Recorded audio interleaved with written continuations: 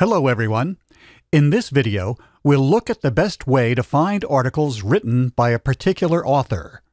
First, I'll show you how this can be done from within a record by clicking on the author's name.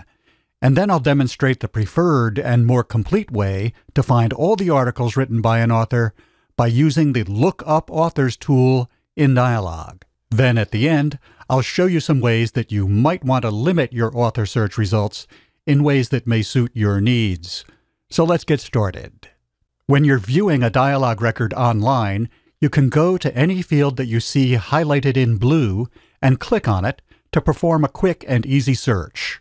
For example, in this record, we could click on the journal name to search for records from that journal, or click on any of these subject terms to find other records that are indexed with that keyword. And with an author name, we can just click on it and get a quick search for other records with that author name across the databases that we're in. Tentzeris is an engineer who writes about RFID chips or RF modules, so we're in the engineering group of databases. One click here, and we get almost 1,500 hits.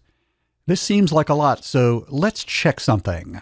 On this side of the results list, we see that the duplicates are included and I have noticed that when you do a search this particular way, that can happen even if your normal default is to remove duplicates. But I can just click here to remove the dupes, and now we have 780 records. A nice result. But is this really everything in dialog by this author? Up here, we see how the search engine ran this search for us when we clicked on the author name in the record. And you see, we only got records where the name in the record was, quote, Tentzeris Manos M, unquote. So that was an exact search. But what about journals or articles where the name is formatted differently? Some, for example, may only use the initials of his first two names. To capture all of those records, Dialog has a special search tool called Lookup Authors. And here's how it works. To access Lookup Authors, we can start in advanced search mode, set this dropdown to the author field, and a link appears that says Look Up Authors. Click that and this blue box pops up for Look Up Authors. The other way to access it is to hover here over Advanced Search and click on Look Up Citation. And in the Look Up Citation screen, there's a link here to open the Look Up Authors tool. Now, using the same author name as our example, in this box we'll type the last name, Tentzeris followed by a space, and then just the first initial. Click Find, and we see all the variations on the name that occur in these databases. Notice how many versions of this name appear, many with just initials, and including some that may even be misspelled. Mananos, for example, is almost certainly him, and here's another misspelling. And we would miss all of these if we had searched only on the exact name that we began with. But we found all of these here by using Look Up Authors. Now we can pick and choose any of these that we want using check marks.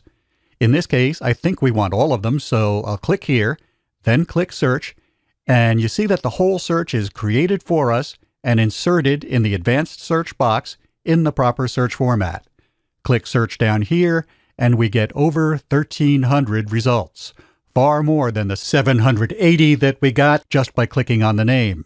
So the Lookup Author tool is a great way to make your author search more complete and at the same time have total control over which variations on a name that you want or don't want.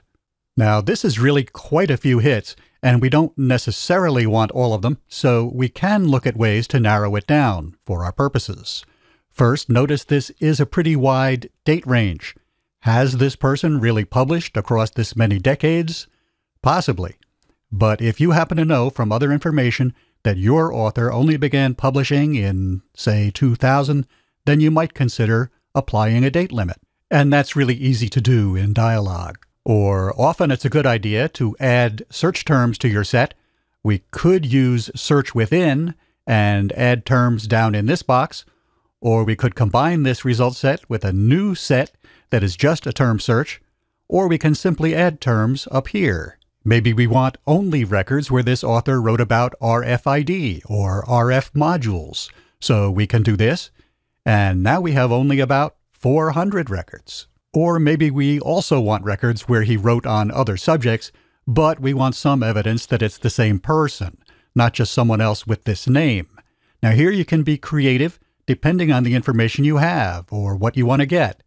In the record that we began with, it showed that our author is affiliated with the Georgia Institute of Technology, and we can limit by author affiliation using the AF field. It may not be in all databases. You can always check the pro sheets for that, but in this case, it works very well. And if we OR together the other terms with our author affiliation, we get quite a few additional records.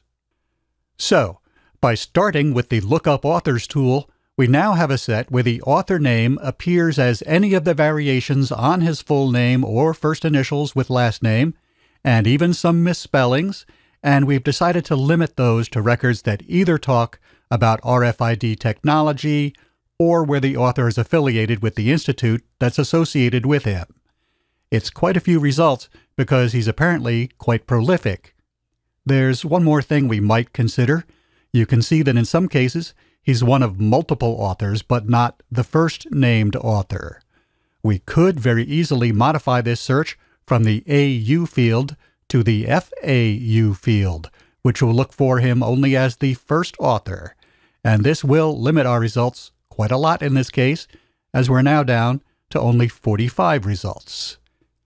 How you limit your search at the end will depend on what you're looking for and the purpose of your search, but you will want to start with a good, comprehensive search for the author's name in all of its forms, and for that, we highly recommend the Look Up Authors tool on Dialog. So that's it. If you'd like more information, here are some links to additional resources and if you have a question or you need some help, feel free to call the help desk at these numbers, or you can email us at customer at dialog.com. Thanks for using Dialog, and enjoy the rest of your day.